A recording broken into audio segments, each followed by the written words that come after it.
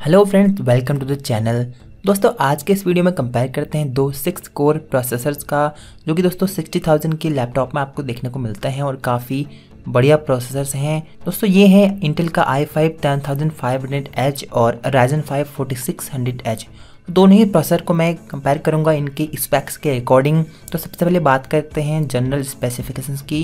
दोस्तों इंटेल का i five ten thousand five hundred H है टेंथ जनरेशन प्रोसेसर जो कि इंटेल की तरफ़ से आता है। आर्किटेक्चर है कॉमेटिक एस सीरीज़ का और यहाँ पर टेक्नोलॉजी इस्तेमाल की गई है वो फोर्टीन नैनोमीटर की है। 64 बिट प्रोसेसर है दोस्तों, और ये फ़र्स्ट अवेलेबल हुआ था क्वार्टर टू में 2020 के। अब बात करते हैं राजन 5 4600H की। तो दोस्तों, ये है AMD की तरफ़ से आने वाला जेन 3 का प्रोसेसर यानी कि जनरेशन 3 का प्रोसेसर और यहाँ पर जो आर्किटेक्चर इस्तेमाल हुआ है, वो है रेनोर जेन 2 का। टेक्नोलॉजी है 7 नैनोमीटर की, और ये भी दोस्तों 64 बिट प्रोसेसर है। फ़र्स्ट अवेलेबल हुआ था क्वार्टर वन में ट्वेंटी के। अब बात करते हैं दोस्तों सीपीयू कोर्स और फ्रिक्वेंसी की। दोस्तों i five ten thousand five hundred H आता है सिक्स कोर ट्वेल्व थ्रीड्स के साथ में। इसकी जो बेस फ्रिक्वेंसी है वो टू पॉइंट फाइव गीगाहर्ट की है और टर्बो बूस्ट फ्रिक्वेंसी है फोर पॉइंट फाइव गीगाहर्ट की। लेकिन दोस्तों, यहाँ पर सिंगल कोर ही टर्बो बूस्ट होता है। बाकी cores three point six gigahertz तक ही टर्बो बूस्ट होते हैं। इसमें आपको हाइपर थ्रीडिंग भी मिल जाती है।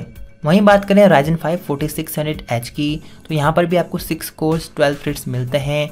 बेस फ्रिक्वेंसी है थ्री गीगाहर्ट की और सारे कोर्स टर्बो बूस्ट होते हैं फोर गीगाहर्ट तक। यानी कि इस प्रोसेसर में आपको मल्टी कोर परफॉर्मेंस अच्छी मिलती है और यहाँ पर भी आपको हाइपर थ्रेडिंग मिल जाती है।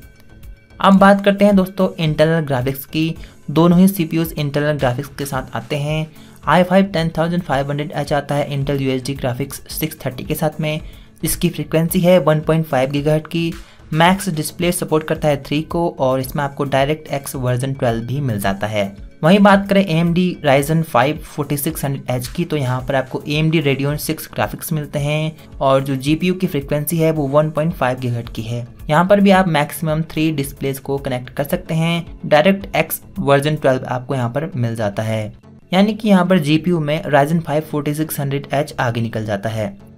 अब बात करें दोस्तों मेमोरी और पीसीआई वर्जन की तो यहाँ पर बात करें i five ten thousand five hundred H की तो यहाँ पर दोस्तों जो मेमोरी सपोर्ट है वो two nine three three mega तक ही है और मैक्सिमम मेमोरी ये प्रोसेसर सपोर्ट करता है one twenty eight G B तक का।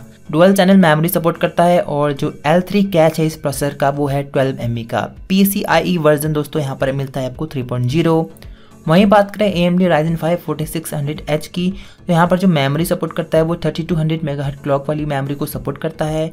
मैक्स मेमोरी आप अपग्रेड कर पाएँगे थर्टी टू जी बी तक। डुअल चैनल मेमोरी को ये भी सपोर्ट करता है और जो एल थ्री कैच है वो है एलेवन एम बी का। पी सी आई वर्जन है दोस्तों थ्री पॉइंट ज़ीरो तो यहाँ पर दोस्तों जो मेमोरी क्लॉक है वो Ryzen five forty six hundred H extra यानी कि थर्टी टू हंड्रेड मेगा तक को सपोर्ट करता है तो यहाँ पर ये आगे निकल जाता है।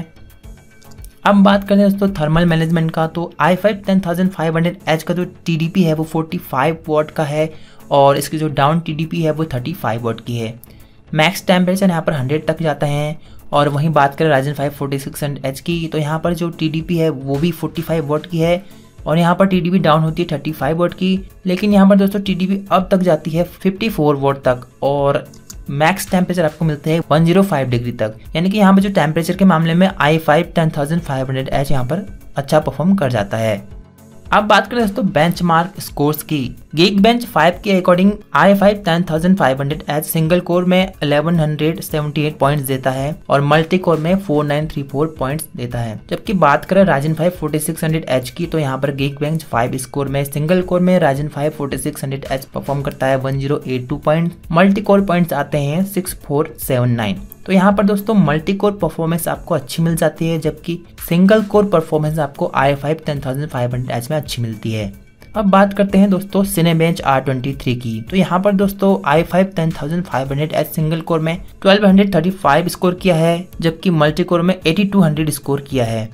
वहीं बात करें सिक्स हंड्रेड एच की तो यहाँ पर सिनेबेंच आर ट्वेंटी थ्री में सिंगल कोर में आपको मिलते हैं इलेवन सिक्सटी टू पॉइंट जबकि मल्टी कोर में इसने स्कोर किया है eight nine three four point यानी कि यहाँ पर मल्टी कोर परफॉर्मेंस आपको अच्छी मिलती है। तो दोस्तों ओवरऑल बात करते हैं मल्टी कोर परफॉर्मेंस की तो यहाँ पर Ryzen five forty six hundred H काफ़ी अच्छी मल्टी कोर परफॉर्मेंस देता है आपको। मेमोरी क्लॉक भी thirty two hundred mega support करता है तो यहाँ पर मल्टी कोर यानी कि ऑक्टोकोर परफॉर्मेंस यहाँ पर आपको अच्छी मिलने वाली है। यानी कि मल्टीटास्किंग में Ryzen five forty six hundred H अच्छा परफॉर्म करेगा। वहीं बात करते हैं गेमिंग की तो गेमिंग में i five ten thousand five hundred H अच्छा परफॉर्म कर सकता है।